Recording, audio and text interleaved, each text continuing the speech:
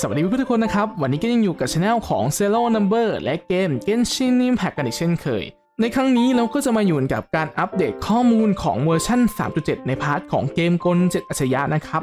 ตรงส่วนนี้เนี่ยคุยกันก่อนว่าจริง ๆ มันมีการเกริ่นมาในไลฟ์แล้วว่าจะมีการนำการ์ดเข้า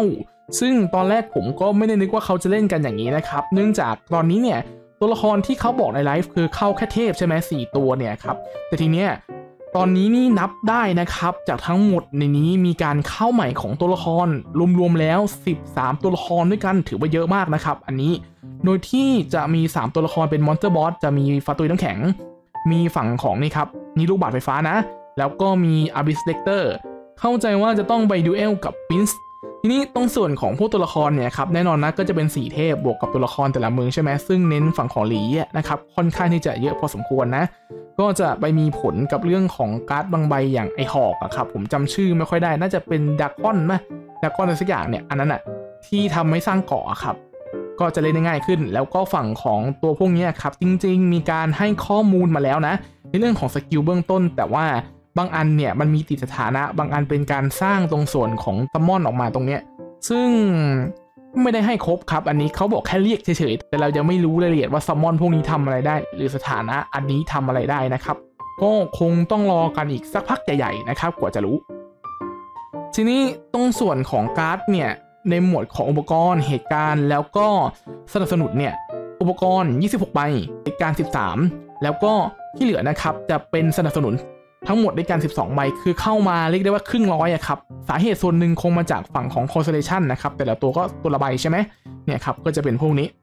ทีนี้ฝั่งของอาวุธประจำตัวก็มีเข้ามานะครับ ครบ 4 เทพเลยนะ แล้วก็บวกกับไอมอสโบนะครับไอมอสโบของกันยูหนึ่งคน นี่นะครับ ที่เหลือก็จะเป็นทั่วไปและจะเป็นการแบบพวกทั่วไปในเคสของกาชาตู้ปกติอะครับ ถ้าเราคุ้นคุ้นเคยกันนะนะ ทีนี้ฝั่งของนี่ครับนี่ artifact นะครับ ก็มีการเข้ามาเพิ่มของ e m b l e m ในหมวดที่เป็น 3 คอร์สนะครับ3คอร์สปกติมี 2 คอร์สใช่ไหมมีการเสริม 3 คอร์สเข้ามา h e n a c i t y ก็เหมือนกันนะครับ เป็น 3 คอร์ส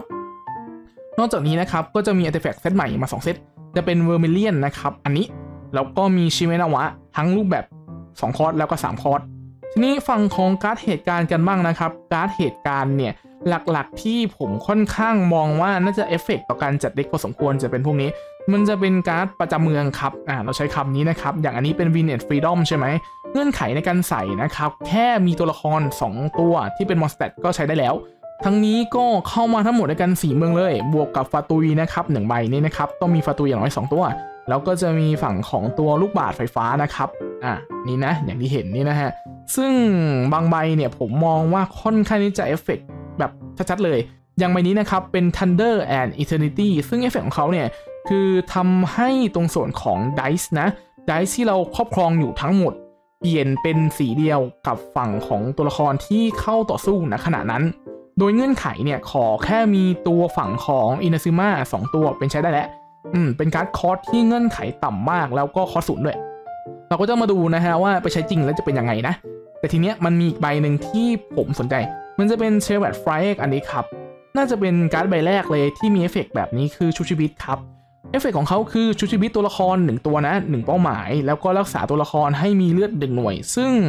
การชุบชีวิตด้วยอาหารเนี่ยมันมีการระบุชัดเจนว่าชุบชีวิตด้วยวิธีนี้ได้มากสุดแค่ตัวเดียว อนาคตไม่รู้จะมีอย่างอื่นไหม แต่ตอนนี้อาหารใบนี้นะครับเป็นใบแรกและชุบได้แค่ตัวเดียวต่อ turn นะ ต่อ turn นะ แล้วก็เดาว่าอาหารตรงชุบเนี่ยครับพอเราให้เขากินไปแล้วเนี่ยมันจะกินต่อไม่ได้ถูกไหมพอกินใบนี้ไปแล้ว ต้อง heal ด้วยวิธีอื่น เราก็จะต้องมานั่งเซตนะครับ เอาแบบอาจจะมีพวกเคสเรื่องของตัวละครที่มี effect heal อย่างเงี้ย เอามากดสกิลหรือหรือนะ หรือนะเซตตรงส่วนของพวกสถานที่ที่มีความสามารถ heal ไว้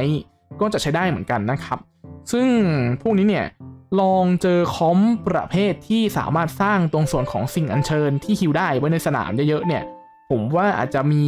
ความปวดหัวพอสมควรนะครับ เช่นอย่างบาบาร่าเงี้ย คิดสภาพนะ ถ้าเราไม่ได้แชร์เขาก่อน เขาสร้างสิ่งอัญเชิญมาเยอะๆแล้วกดอัติเมทฮิลชุบขึ้นมาอย่างเงี้ย ถึงแม้จะตายไปแล้วก็พลิกเกมได้นะ อืม ก็คิดว่าคงจะมีอะไรให้เห็นแปลกๆขึ้นอีกเยอะเลยแหละสำหรับเมตาหน้านะครับทีนี้ไปกันที่โหมดสุดท้ายเป็นโหมดสนับสนุน สนับสนุนเนี่ยเป็นเคสเรื่องของการใส่สถานที่เข้ามาซะเยอะ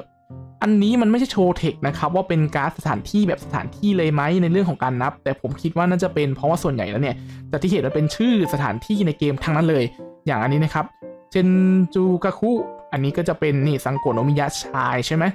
มีซูมิโรซิตี้ด้วยนะครับอันนี้อะก็เลยเดาว่าน่าจะเป็นทรงนั้น ซึ่งพวกนี้พอมันเป็นอย่างนี้ถ้ามันถูกจัดเป็นสถานที่จริง ๆ การพิจารณาจัดทับบี้เข้าไปในเด็กอาจจะต้องคิดเยอะขึ้นนะครับ อืม เพราะว่ามีสถานที่มาเยอะแบบนี้โอกาสที่เราจะได้เล่นค่อนข้างที่จะมากขึ้น แต่ว่าสถานที่มีแค่เราสามารถอยู่บนสนามได้พร้อมกันแค่ 4 ใบนะครับ ก็ต้องไปคิดกันอีกทีหนึ่งนะ ดูว่ามันจะคุ้มไหมบวกกับอีกใบหนึ่งครับ ที่ผมค่อนข้างสนใจเป็นการพิเศษของตัวแพทนี้แหละ เป็นเคสเรื่องของอุปกรณ์ขออนุญาตใช้คำนี้ไปก่อนจนกว่า Official นะครับเขาจะปล่อยข้อมูลมานะว่าว่าหมวดจริง ๆ มันคือหมวดอะไร ซึ่งเป็นอย่างอันนี้ครับ เป็น Red Feather Fan ใบแรกนี่ก็เด็ดเลยครับ เอฟเฟกของเขาคือเหมือนคุณแคทเธอรีนเลย ถ้าสมมุติเราทำการเปลี่ยนตัวละครเนี่ยครับมันจะถูกมองว่าเป็นการดำเนินการด่วนแทนดำเนินการต่อสู้พูดง่ายๆเปลี่ยนแล้วไม่เสีย turn ปกติมันเปลี่ยนแล้วเสร็จปุ๊บต้องสลับมาเป็นคู่ต่อสู้ใช่ไหม แล้วก็ใบนี้เนี่ยมันทำให้ Element Dice ที่เราใช้เนี่ยครับน้อยลงด้วยหนึ่งลูกเข้าใจว่าก็คงเป็นการดำเนินการโดดแค่ครั้งแรกครั้งเดียวปุ๊บ แล้วก็ได้น้อยลงหนึ่งลูกเลย ซึ่งธรรมดาเนี่ยเอฟเฟกอย่างนี้เนี่ย มันต้องใช้การ์ดอย่างน้อย 2 ใบเข้ามาใช้ เข้ามาทำนะฮะ ถือว่าเป็นการประหยัดและกันประหยัดตรงส่วนของการ์ดใน deck ที่เราใส่มาได้พอสมควรนะครับ อาจจะเอาออกได้พอสมควรเลยแหละ เช่น สมมติจากเดิมเราต้องใส่สี่ใบใช่ไหมเพื่อให้ครบเซตอันนี้เราใส่แค่เป็นแบบ 2 ใบครับที่เป็นใบเนี้ยใบเนี้ยซ้ำสองใบก็ใช้ได้แล้วแต่ว่า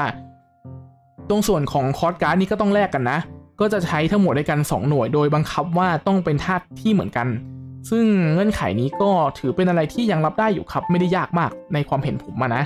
แต่ทั้งนี้ทั้งนั้นก็คุณแคทเธอรีนนะครับในเคสของปัจจุบันเนี่ยมันมีการลดคอร์สจาก 2 คอร์สใช่ไหมเป็น 1 คอร์สแล้ว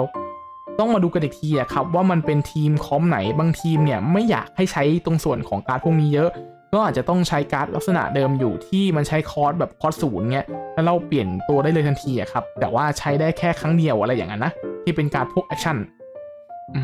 สำหรับตรงส่วนของการ์ดเนี่ยครับวิเคราะห์คร่าวๆใน meta ของ 3.7 นี่ก็จะประมาณนี้นะครับ คงมีเปลี่ยนเยอะแหละ พอเข้ามาล่อ 50 ใบเลย ตัวละครยังไม่รู้รายละเอียดเยอะเท่าไหร่นะครับ ว่ามันเป็นทรงไหนบ้าง อืม ก็ต้องรอดูกันอีกทีนึง โอเคไหมทีนี้ถ้าเพื่อนๆชอบคลิปนี้นะครับ ก็อย่าลืมกดไลค์ กดแชร์ กด subscribe และอย่าลืมกดกระดิ่งแจ้งเตือนเพื่อไม่พลาดคลิปดีๆด้วยล่ะ แล้วเจอกันใหม่คลิปหน้า see you next time my friend เจอกันนะครับ